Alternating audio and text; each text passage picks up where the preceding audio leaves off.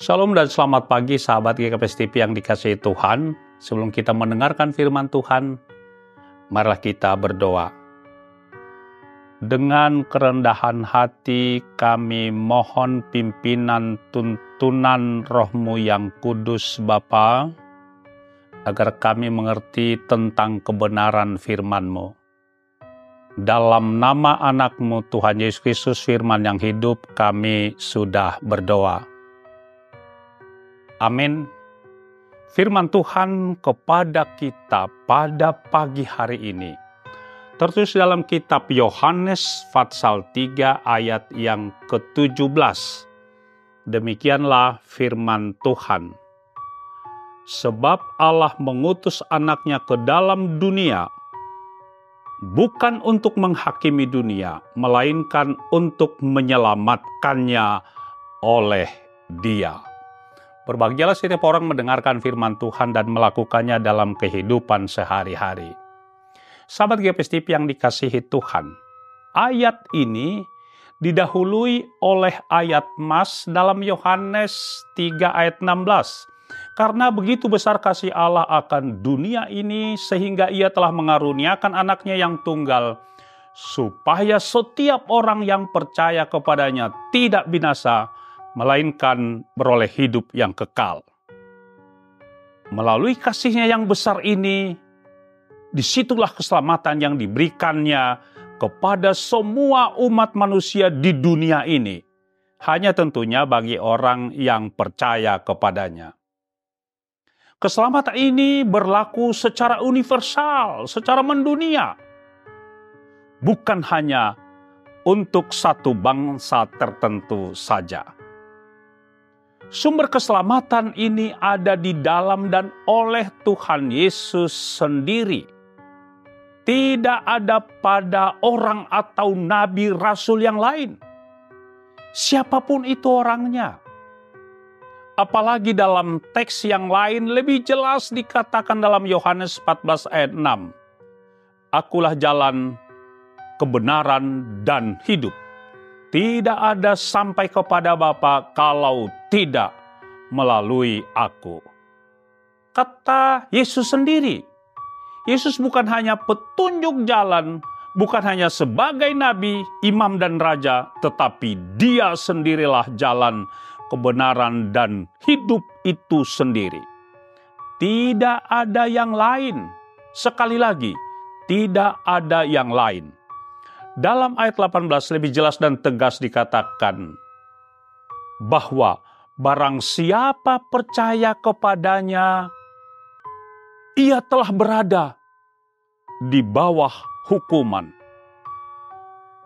Pesan yang disampaikan kepada kita ketika masih ada waktu, masih ada kesempatan, marilah jadikan Yesus Kristus sebagai jaminan kepastian keselamatan.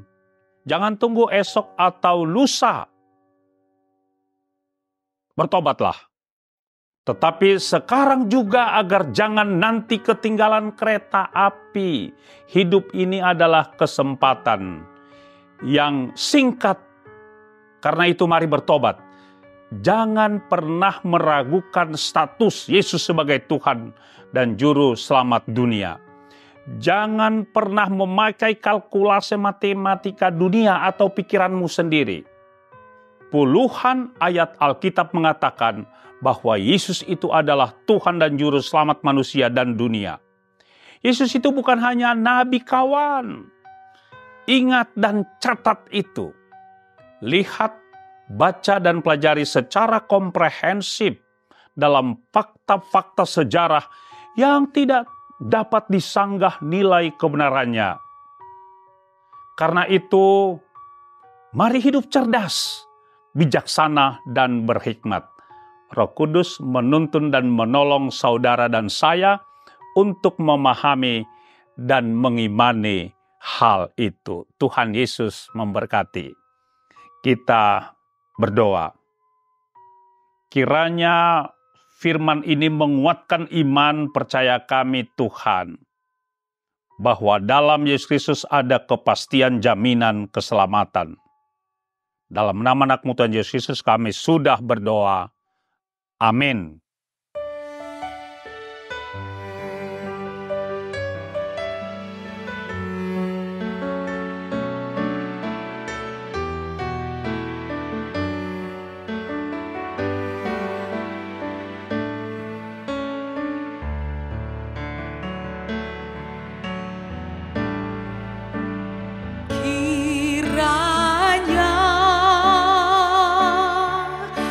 Engkau memberkati